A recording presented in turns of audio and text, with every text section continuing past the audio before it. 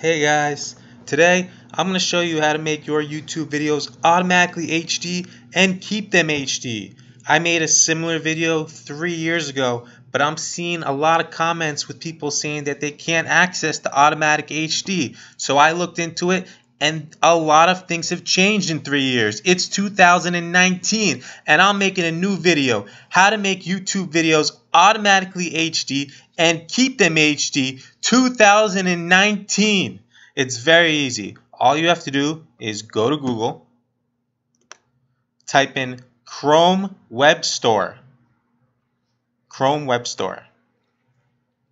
When you get to Chrome Web Store, in the search bar, type in YouTube Auto HD. Then this will pop up, automatic 4K HD for YouTube or automatic HD 4K 8K for YouTube. Then all you have to do is add it to Chrome. I already added it as you can see. It's now asking me to rate it. All you have to do after that is go back to YouTube, click on your video, and I'm going to click on my video right here.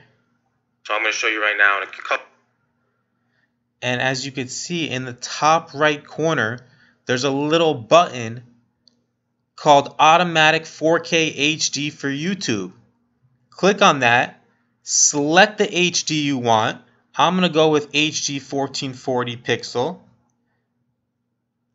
go ahead and match it over here quality HD 1440 peak pixel then guess what I'm gonna go back come back into my video.